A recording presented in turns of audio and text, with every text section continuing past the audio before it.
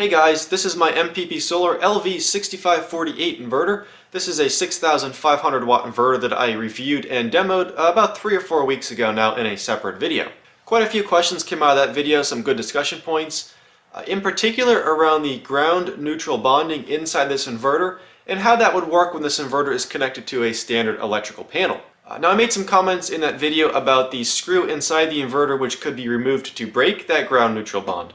And uh, since that video I have reached out to MPP Solar and I have asked them about this question and uh, they had wrote back a response that says if you would like to remove the neutral ground bond in battery mode uh, you need to remove the screw marked in red on the main board and they provided a picture here which you can see. Now all of the case screws are circled in red so I think we can conclude that the screw they are referring to is the one with a pink check mark, which is the same screw I noted in the video.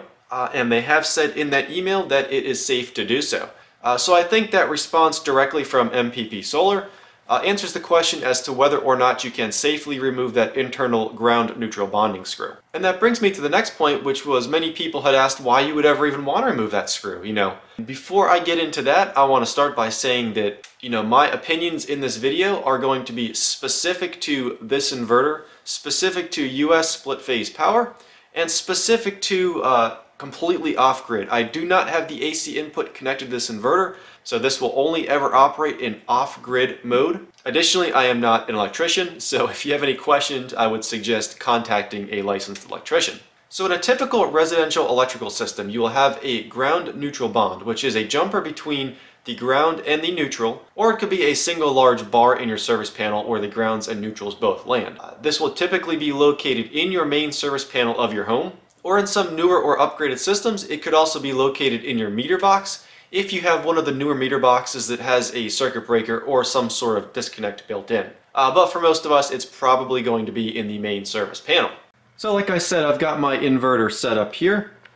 And you can see on the bottom there, I have a piece of EMT conduit that comes out and goes over to this, uh, I think this is a 100 amp panel. Purposes of this video, this is the main system panel. This is not a sub panel because remember there is no AC input connected. This is an off-grid inverter, so this is the main panel off of this inverter. Uh, but you can see my cabling comes in here. It is THHN. I have a black for the line, a white for the neutral, and a green for the ground. Uh, these come up to the top here. You can see the white goes into the neutral bar. Uh, the black or the line goes into the first bar on the left. And I have a smaller ground bar at the top here where all of the grounds land. Additionally, you'll see I have a piece of copper wire coming from the neutral bar and going up to the ground bar. This is the ground to neutral bond. Now I could have just landed all of the neutrals and the grounds on this single bus bar here, and I wouldn't have even needed this side ground bar because this is actually an add-on component that I purchased separately. Uh, however, I wanted to keep them separate in case I decide to use this panel for any other inverter testing. Additionally, I lost the screw which is supposed to go through this hole right here, which will bond this bar to the actual case. Irrelevant for the purposes of this video, but I know somebody's going to call me out on it if I don't say so. And then you can see I've got two 20 amp breakers here. Uh, one goes up to this outlet over here, and the other goes down to a separate outlet down here. Now the question that was asked is, why would you want to remove the screw from this inverter and then make the bond over here when you can simply keep the neutrals and the ground separate and leave the bond in the inverter? And here's the problem I'm trying to solve. If you leave the bond screw in this inverter, you have a neutral ground bond in the inverter, obviously. And if you have your panel connected like this, where the neutral and ground is bonded, now you have a bond in two locations. You have a bond in the inverter and you have a bond in the panel. So that has now turned the green ground wire that runs from this panel to this inverter into a current carrying conductor. And that's very bad. That ground wire is supposed to be a low resistance path for current to flow under a fault condition, you know, from any appliance, any panel, back to the source, which is this inverter. You never want to have your ground wire becoming a current carrying conductor. And that's the reason why we only have the neutral ground bond in one location.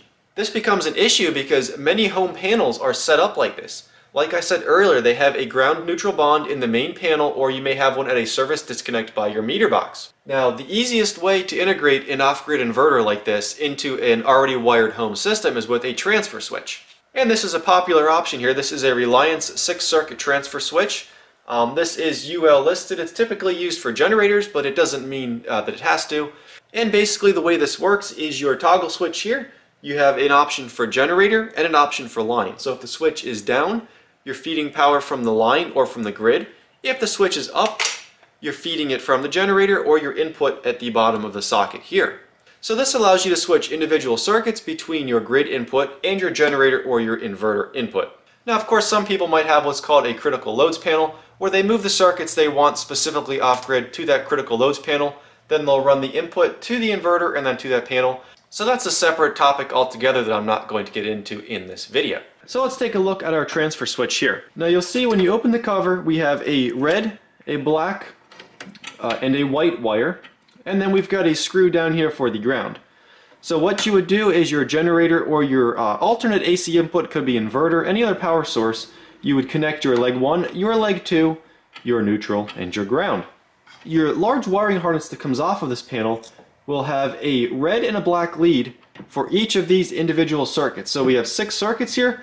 We'll have 12 leads that come off, six pairs of red and black. Then we'll have a ground and a neutral. Uh, so the ground will land on the ground bar of your main panel. The neutral will land on the neutral bar of your main panel. And if your panel is like mine, where they're combined, uh, both these leads will go to the same bar, and there's your ground neutral bond. So what you'll do is you'll go to your main panel and you'll pull the wire off of the circuit breaker uh, for the circuit you wish to switch the transfer switch. You'll take the red wire and you'll connect it to that circuit breaker. Then you'll take the black wire and you'll splice that onto the wire that goes out to the branch circuit. So when your switch is in one position, it will pass current through the red wire to feed that circuit. When your switch is in the other position, it will pass current from the input wires to feed your circuit. Perfect solution for taking individual circuits off grid. However, it does not switch the neutral or the ground.